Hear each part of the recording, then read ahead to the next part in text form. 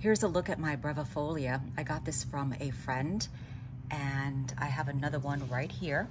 And this one has about 18 more pups on it.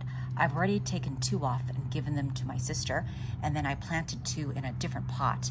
But I noticed that this one is starting to grow as well, and it's pinching one of the pups. So I'm gonna remove this so it can have some room to breathe, the other ones.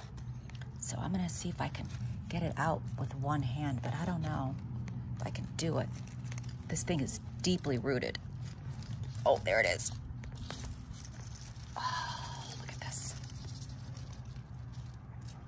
And there you go.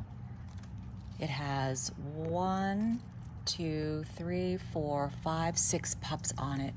This is such a great producer. If you are trying to get some ground cover in your yard or you're on a budget, this one will just keep giving and giving and giving. It's amazing. All right, I'm gonna go plant it. Have a great day, everyone.